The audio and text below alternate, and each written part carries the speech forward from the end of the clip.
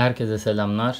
Bugün bakın elimizde ne var? Yumurtalar. Güzelce üst tarafından kırdık ve bunları güzel fideleme saksısına çevireceğiz. Ama öncelikle kanalıma abone değilseniz lütfen abone olun. Videolarımızı beğeniyorsanız like atın, beğeni atın ve videolarımıza yorum yaparsanız bize destek olmuş olursunuz ve biz de daha güzel videolar çekmeye teşvik edersiniz. Şimdi normalde fideleme yapıldığında küçük saksılar vardır biliyorsunuz. Bunu herkes ulaşamayabilir veya bulamayabilir. Ama böyle evinizde kolayca zaten bunu biz atıyoruz. Hem geri dönüşüm olur hem de kalsiyum ve içinde barındığı min, barındırdığı mineraller sayesinde faydalı bir şey yumurta kabuğu. Gerçi bunun e, kimyasal bazı asitlerle çözdürüp kalsiyum bikarbonattan kalsiyumu ayırıp vermek daha verimli. Onun da videosunun sonuna koyarım. Ama yine de az da olsa verimi var. Onun için hem fidelerin hızlı büyümesi hem böyle sonradan kırılabilir olması açısından çok iyi. Bunu hemen içlerini toprakla dolduracağız. Fidelerimizi ekeceğiz. E belli bir boya geldikten sonra bunu istediğimiz gibi şu altını da kırabiliriz, ekebiliriz veya bunları çatlatarak toprağa ekebiliriz. Hiç sorun olmaz. Yani kullanışlı, pratik ve geri dönüştürülebilen bir ürün diyelim. Hani saksı alıp plastik alıp çevreye zarar vermiyorsunuz. Organik şekilde saksınızı halledebiliyorsunuz. Şimdi bunların içine normal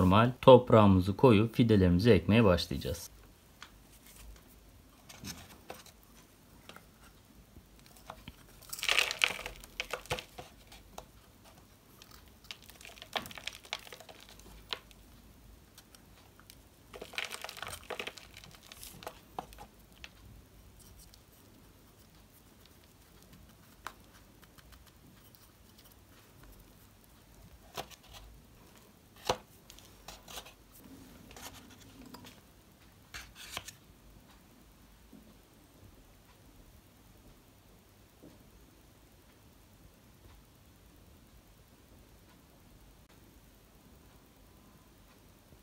Evet topraklarımızı doldurduk. Yani güzel de duruyor. Bakın.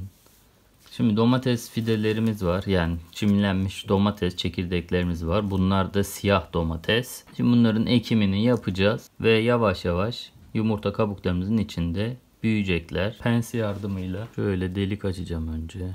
Sonra buradan köküne zarar vermeden bunları çıkaracağım. Şimdi bakalım. Şöyle gözüküyor mu?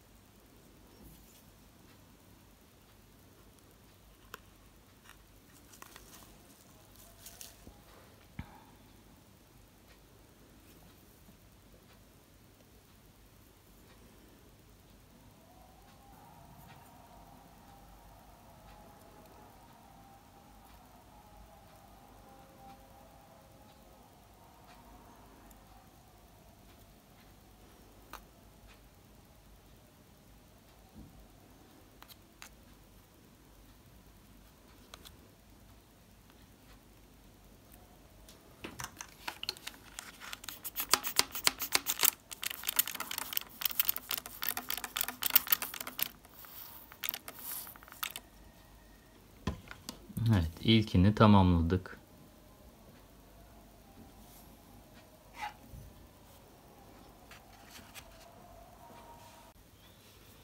Ekimimizi yaptık. Bundan sonra da artık büyümesini bekleyeceğiz. Bu şekilde. Herkese selamlar. Yumurta kabuklarını bakın kullanmıştık. Ne kadar güzel büyüdüler. İki günde sadece iki günde değişimi görün. Bunun içindeki mineraller ve kalsiyum sayesinde güzel bir büyüme izliyoruz.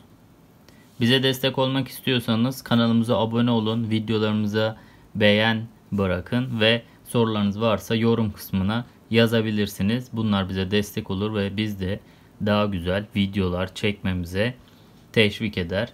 Görüşmek üzere. Sağlıklı günler diliyorum.